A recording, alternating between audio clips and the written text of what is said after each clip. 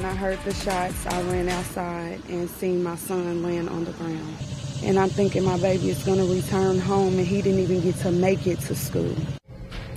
We begin tonight with iTeam8 and the shooting of a 16 year old high school student as he waited at a bus stop. We have breaking news just into the newsroom. Police have made an arrest in the case. Let's get right to iTeam8's Richard Essex. Richard.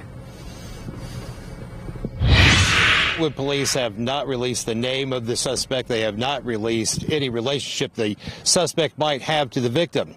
16 year old uh, Mr. Stokes had, and his family had moved to Johnson County just a couple of weeks ago. They were settling nicely into their new neighborhood.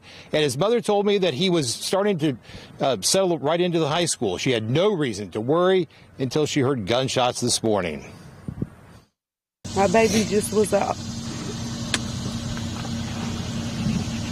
a beautiful person that was that's gone too soon. Just before seven o'clock this morning, 16-year-old Tamario Stokes was standing at the corner waiting for the bus when police say someone wearing a black hoodie got out of a car and fired several shots.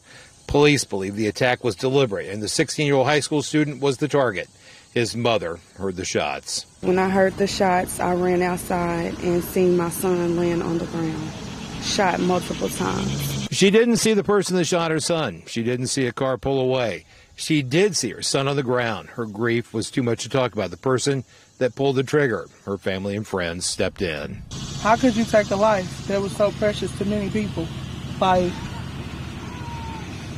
he you know, he didn't deserve that. He was a kid. He didn't deserve this. The families asked that we not show any pictures of Tamario. His father paints a picture of his son that was looking forward to a future working alongside of him. Landscaping, landscaping, landscaping. Daddy, get me a lawnmower. Let's do landscaping. Let's do landscaping. He wasn't a bad kid. Mm-mm. All kids make bad decisions at one time, but he wasn't a bad kid. He don't deserve this. Right. I was told by one of Tamario's relatives that his mother had moved the family to Johnson County for a more peaceful life. They had found this new neighborhood to be to their liking. Their new life was going as planned until this morning. Thought it was going to be a regular day. My baby went to school when he come home and this cook last night made him a pot of greens because that's what he liked to do. And I'm thinking my baby is going to return home and he didn't even get to make it to school.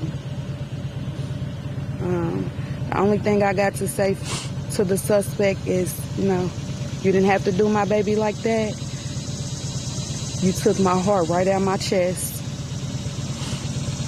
And I hope you find peace within yourself.